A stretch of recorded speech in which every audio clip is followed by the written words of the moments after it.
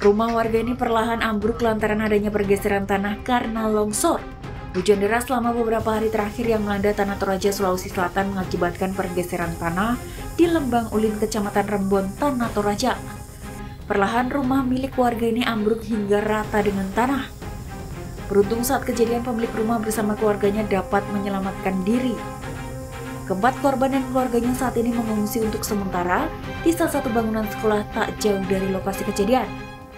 Rumah kami terkena longsor dan kami diharapkan dari kepala sekolah, kepala kampung dan Pak Lembang membawa kami di sini untuk tinggal sementara waktu. Terus kami minta pemerintah daerah untuk membantu kami. Akibat peristiwa tersebut, sejumlah barang-barang berharga milik korban tak dapat diselamatkan karena telah tertimbun tanah dan rusak tertimpa bangunan yang ambruk.